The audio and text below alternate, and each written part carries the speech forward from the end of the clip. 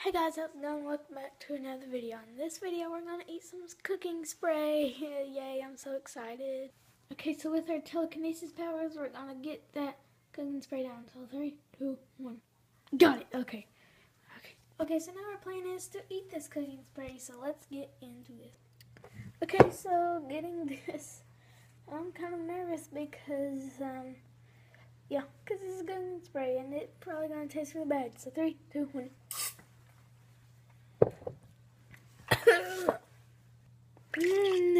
Delicious.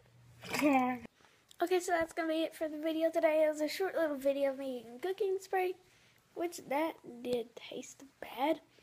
Yeah, don't eat this stuff. It's like bad. Even though you cook with it, of course it's edible.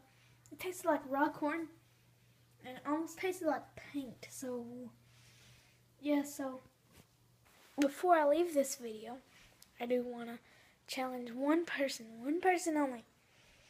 That is you, Logan, Logan Walker. I'll put the channel description, uh, channel description, uh, channel link in the description below. So yeah, bye.